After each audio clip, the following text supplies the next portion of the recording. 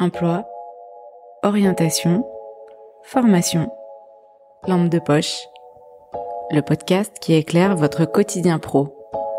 Le podcast qui éclaire votre quotidien pro. 6h57, c'est à vous, Daniel Morin. Oh oui, ce week-end, j'étais assailli par l'info. L'info, l'info, l'info. J'étais au taquet pour ne rien rater. J'étais en alerte permanente sur tous les sites info. Eh ben, il y a de la matière, croyez-moi. Tenez, exemple. Laetitia Hallyday est-elle prête à changer de vie pour Pascal Ballant? Mais qu'est-ce qu'on en a à foutre? Je m'en fous de Laetitia Hallyday, je m'en fous, mais... Mais j'ai cliqué oui, comme un con, j'ai cliqué. Je me suis dit, ce Pascal Ballant, ça se trouve, c'est un accord du commun, une tronche. Et ce rapprochement entre le vide et l'immense peut s'avérer intéressant. Non, non, pas intéressant. Le gars est restaurateur à Paris. J'ai offert du clic à un site à la con. La multiplication des médias et des supports nous donne l'impression parfois d'être noyés dans un flux constant d'informations. Pourtant, en tant que professionnel, il est indispensable de faire de la veille.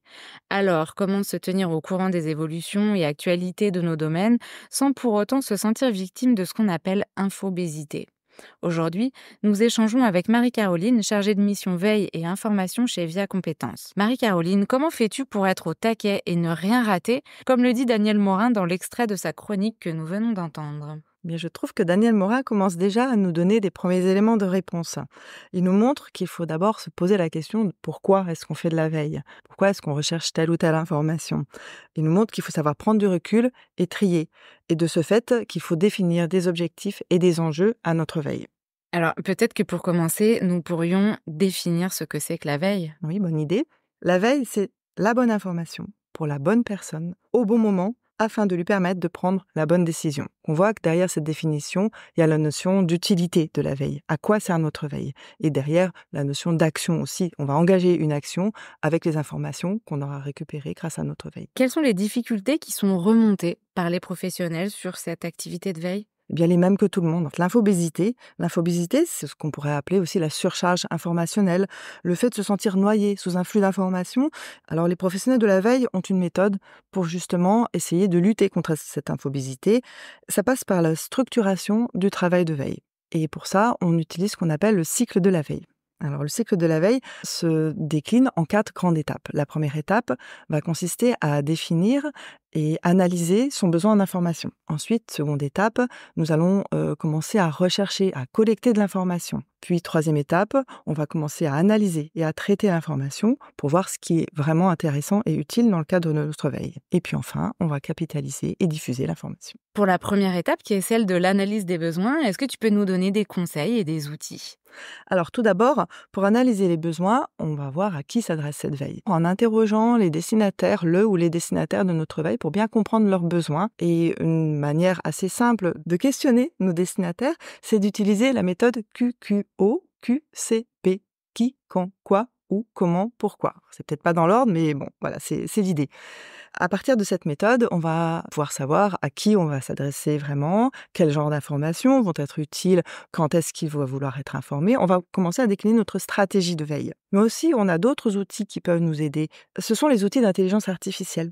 Euh, actuellement, on utilise beaucoup ChatGPT. Un autre outil qui est français, qui est le chat, généré par Mistral AI, euh, peut être intéressant à utiliser. En tout cas, c'est les outils qu'actuellement j'utilise. Et sur ces outils, on va, on va les interroger. Par exemple, on peut euh, lui demander quels sont les besoins de veille pour un organisme de formation ou alors pour un professionnel de l'orientation à partir de sa première réponse, on va lui demander, eh bien, décline-moi un plan de veille pour que je commence à, réaliser ma veille à partir de ces éléments-là.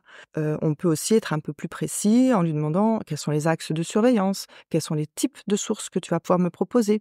L'intelligence artificielle aussi peut avoir un, intérêt sur la phase suivante pour nous permettre de trouver les bons mots-clés que ce sont des outils qui vont vraiment nous aider à décliner le champ lexical de tel ou tel sujet. Écoute, parfaite transition pour entamer notre discussion sur l'étape suivante qui est celle de l'identification des sources. Est-ce que tu peux nous en dire plus? Comment, faire face à une telle diversité? On a l'habitude de dire que le sourcing, donc l'identification des sources, c'est la valeur ajoutée numéro un du veilleur. C'est-à-dire que si on trouve des bonnes sources d'information, forcément, on aura des bonnes remontées de veille et on va pouvoir proposer une information intéressante et utile à nos destinataires.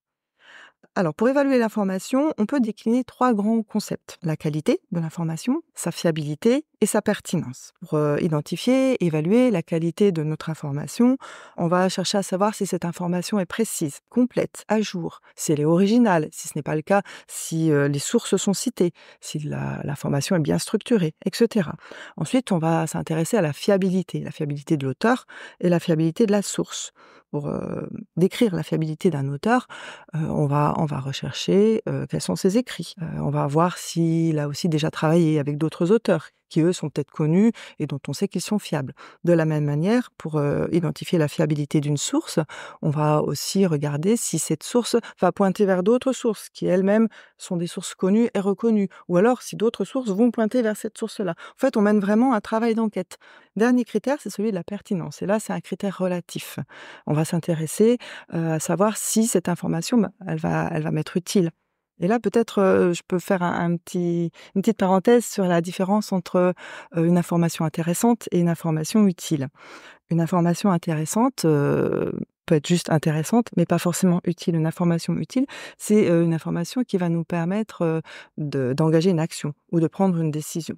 Alors, on arrive aux deux dernières étapes qui sont celles du traitement et de la capitalisation. Comment peux-tu nous aiguiller pour les mettre en œuvre? Alors, il existe différents outils pour ces deux grandes étapes, qui sont soit ce qu'on appelle des agrégateurs de flux RSS, ou alors des outils de curation. Qu'est-ce qu'un agrégateur de flux RSS Et déjà, qu'est-ce qu'un flux RSS Ce sont des technologies qui vont nous permettre d'être alertés sur les dernières mises à jour d'un site ou d'un blog, par exemple. Parmi les agrégateurs de flux RSS qui existent, il y a InnoReader, qui est l'outil que l'on utilise chez Via Compétences, qui va nous permettre d'agréger différents flux émanant de différents sites et qui vont nous permettre d'engager ce travail de traitement et de capitalisation. C'est-à-dire qu'on va recevoir des flux d'informations, on va les trier, on va les sélectionner, les catégoriser pour pouvoir les classer et ainsi les retrouver facilement. D'autres outils existent aussi qui sont plus des outils de curation et de collaboration, comme PearlTrees, qui est un outil français, et Woklet. Alors avec ces outils, on va pouvoir créer des collections thématiques et également annoter et partager les contenus que l'on aura euh, trouvés intéressants. Pour être plus précise, euh, qu'est-ce qu'un outil de curation? C'est un outil qui va permettre de sélectionner des informations, non seulement les sélectionner, mais aussi les organiser et les présenter d'une manière à les, éclairer, en fait, à, les rendre euh, plus intelligibles et euh, utiles à l'action. À, t'entendre ainsi parler de ton expertise sur la veille, ça me donne l'impression qu'il faut beaucoup de compétences pour exercer une veille efficace. Comment est-ce qu'on peut venir en soutien des professionnels sur ce plan? Eh bien, en leur proposant des outils, des outils qui sont faciles à prendre en main. et chez Via Compétences, on a déjà une veille qui est relativement poussée, qui peut intéresser les différents professionnels de l'emploi, de la formation et de l'orientation. On propose par exemple une, offre d'information qui est relativement complète, avec par exemple notre site via compétences.fr qui va décliner des actualités sur ces différents champs-là. on réalise environ 10 actualités par semaine, ce qui est déjà assez intéressant pour faire une veille.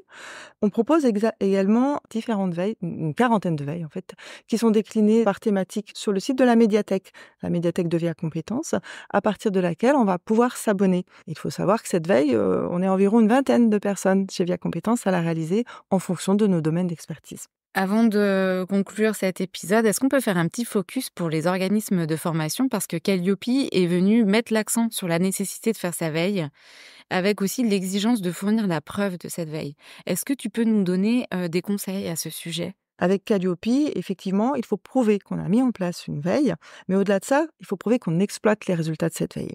Alors pour ce faire, on peut tout simplement élaborer ce qu'on appelle un tableau de suivi sous format de tableau Excel, avec une première colonne où on va répertorier les éléments qu'on trouve intéressants et qu'on souhaite exploiter. Et puis après, on va décliner un certain nombre de colonnes qui vont correspondre aux indicateurs Calliope euh, concernant la veille. Et puis dernière colonne, eh bien là, on va décliner les actions qui vont être mises en œuvre ou qui ont déjà été mises en œuvre. avec ce tableau, on répond déjà aux demandes de Calliope. Merci pour toutes ces explications. en trois mots, que conseilles-tu à nos auditeurs pour une veille efficace? Alors, en trois mots, je dirais d'abord qu'il faut de la régularité. il faut être vraiment régulier dans sa veille. Il faut, montrer qu'on maîtrise cette veille et que c'est pas elle qui nous maîtrise. Donc, se fixer des rendez-vous Un second mot, c'est un mot que j'aime beaucoup, c'est le mot de sérendipité.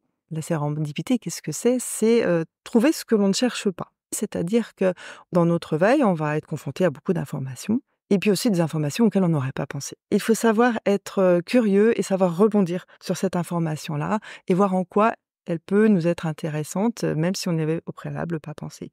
Et, puis dernier mot, alors c'est un groupe de mots, c'est que la veille est une activité itérative. Alors qu'est-ce que ça veut dire une activité itérative?